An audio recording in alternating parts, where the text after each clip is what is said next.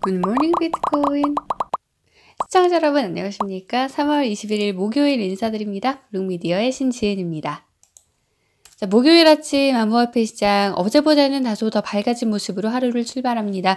물론 중간중간 붉은 빛이 띄긴 하지만요. 대부분 상위 시종의 종목들 초록불 켜주면서 상승장 연출해주고 있습니다. 온톨로지는 16% 급등하고 있고요. 비트코인도 1.22% 오르면서 4,019달러 선 기록하고 있습니다. 4,000선을 넘긴 건데요. 24시간 동안의 움직임 보시면요. 시장 가치 1,409억 달러, 비트코인 점유율 50. 4.8% 기록 중입니다. 이렇게 비트코인이 4,000달러를 넘은 가운데 이더리움은 여전히 139달러, 140달러를 밑돌고 있는 상황이고요. 리플은 0.31달러에서 거래가 되고 있지만 코인 마켓캡 기준으로는 소폭 조정을 받고 있습니다만 그래도 오늘 3 세개의 시총 상위 종목들 움직임 나쁘지 않습니다. 라이트코인도 상승을 엿게 해주고 있고요. 5위부터 10위까지는 하락세 속에서 거래가 되고 있습니다. 자, 반면 11위부터 20위까지는 좀 상승세가 뚜렷한 상황인데요. 비트코인 SV를 제외하고는 20위까지 내리는 종목 없고요. 온톨로지 말씀드렸다시피 14.8% 급등을 하고 있습니다. 21일 테조스도 8%대로 오르고 있고요. 거래소의 거래 동향 확인해 보시면요. 엘뱅크, OKEX, 바이낸스가 1, 2, 3위 기록을 하고 있습니다. 우리나라의 업비트는요, 22위에서 오늘도 머물면서 20위권에서 거래가 되고 있고요. 24시간 동안의 암호화폐 거래량 가장 많은 것은 비트코인, 2위는 테더입니다. 이더리움이 3위를 잇고 있고요. 라이트코인, 이오스, 리플이 6위까지를 차지하고 있고요. 퀀텀이 7위입니다. 오늘장 뉴스들 짚어보겠습니다. 먼저 다우지수 이야기를 해, 드릴 텐데요. 연준이 추가적인 금리 인상을 하지 않겠다라고 발표를 하면서 다우지수가 급등을 했었습니다. 하지만 이내 다시 다우지수 상승분을 고스란히 반납을 하면서 현재는 지수가 하락세 속에서 거래가 되고 있는 모습인데요. 당초에 비트 당초에 미국 증시가 상승했던 이유는 추가적인 금리 인상이 없을 것이라는 소식 때문이었는데 사실 금리 인상을 하지 않겠다는 것은 그만큼 경기에 대한 낙관론이 조금 줄어든 것으로 해석을 할 수도 있기 때문에 그런 우려들을 찾기 시작하면서 시장이 이내 다시 상승분을 반납을 하고 있는 모습 확인하실 수가 있어요. 금리 인상을 당분간 중단하겠다라는 발표 있었다는 소식이고요. 자, 다시 비트코인으로 넘어와 보겠습니다. 옵션 거래소가 최근 비트코인 선물 계약 추가를 중단하겠다라고 발표한 것이 시장의 바닥임을 드러내준다. 브라이언 켈리가 CNBC에 출연해서 이렇게 말을 했는데요. 일단 시장이 많이 지쳐 있다. 바닥에 지쳐 있다라고 지적을 하면서 음, 우리가 지켜봐야 될 것들 여러 가지가 있는데 그 중에서도 피델리티가 2분기에 올 것이고 어, 3,000달러 선은 그렇기 때문에 굉장한 비트코인 바닥의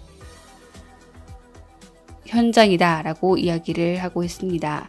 2017년 12월에 옵션 거래소가 비트코인 선물을 런칭을 했었는데요. 지난번에도 한번 제가 말씀을 드렸다시피 기관은 비트코인 선물 계약을 지금 옵션 거래소뿐만 아니라 다른 피델리티나 여러 플랫폼을 통해서도 할 가능성이 열리고 있기 때문에 어, 이 옵션 거래소의 선물 거래 추가 중단이 어쩌면 시장의 바닥임을 드러내주는 소재다라는 이야기를 하고 있는 겁니다. 비트코인 뱅크인 실버게이트가 암호화폐 관련 고객들이 2018년 한 해 동안 122% 증가했다라고 발표를 하면서 그들이 예치한 예치금도 15억 8천만 달러까지 늘었다라고 이야기를 했습니다. 원래는 14억 6천만 달러 정도였는데요. 이 역시도 8% 증가세를 보인 거라고 이야기를 했고요. 네, 이렇게 실버게이트 은행에서 암호화폐 고객들이 어떻게 늘어나는지를 그림으로 좀 보여주고 있는데 2013년에 처음 시작할 때 모습이고요. 2014년에 어, 600만 달러에서 시작을 했는데 이제 15억 달러까지 왔다라는 굉장히 큰 성장세를 이야기해주고 있습니다. 어, crypto bank라고 불리는 이 실버게이트는 음, IPO를 진행을 했었는데요. 작년 11월이죠. 5천만 달러의 자금을 모금하기도 했습니다. 라이트코인 최근에 분위기 좋은데요. 라이트코인이 2019년 한 해 동안 가격이 두 배 이상 오를 수 있었던 다섯 가지 원인을 CCN이 분석을 했습니다. 먼저 아무래도 적용 가능성이 늘어났다는 그런 사실인데요. 최근에 케이팝의 콘서트 티켓을 라이트코인으로 구입할 수 있다라는 이야기도 전해드린 적이 있는데요. 그런 대중화 가능성이 1위로 꼽히고 있고요. 수수료가 저렴한 거, 그리고 빠른 거, 또 프라이버시, 사생활 보호에 있어서 뛰어나다는 거, 그리고 다섯 번째는 반감기인데요. 2015년 반감기 때도 한번 오른 적이 있고 두 번째 2019년 8월로 예정된 반감기 때도 가격 상승이 기대된다라는 CCN의 분석입니다. 먼저 우리 블록미디어 기사부터 좀 전해드리겠습니다. 카카오의 블록체인 플랫폼 클레이튼이 6월 mainnet을 출시할 예정이다 라고 발표를 어제 했었는데요.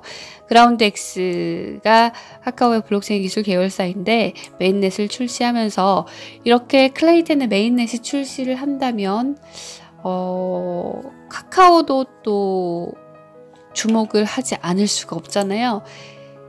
BTC 매니저에서 이렇게 보도를 했는데 카카오가 아마도 암호화폐 지갑을 카카오톡에 탑재할 수도 있다라는 그런 추측 기사를 내보냈습니다. 삼성처럼 어, 카카오에도 이 암호화폐 지갑이 탑재된다면 4,400만 명의 유저, 굉장히 많은 유저인데 이 유저들이 암호화폐에 좀 더 가까이 다가갈 수 있을 것이다 라고 대답했고요. 카카오의 암호화폐 야망은 있어 왔다. 2019년 3월부터 뭐 카카오 벤처스가 테라라는 블록체인 기반 결제 플랫폼에 투자를 하는 등 카카오톡도 열심히 카카오도 열심히 암호화폐 블록체인 기술에 투자를 하고 있다라는 소식을 함께 전하기도 했네요. SGC의 ETF 승인 굉장히 시작에서는 해묵은 이슈로 여겨지는 것인데요. 왜냐하면 승인이 계속해서 미뤄지고 있기 때문입니다. SEC가 일반의 의견서를 받았는데 대부분 부정적인 의견이었다라는 소식 코인텔레그래프가 정하고 있습니다.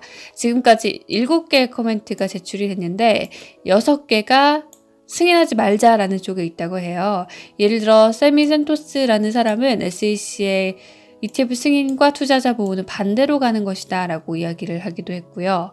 SEC가 음, 이걸 승인한다면 투자자들을 더 보호하지 못하게 될 것이다 라는 의견 네, 내놓기도 했습니다.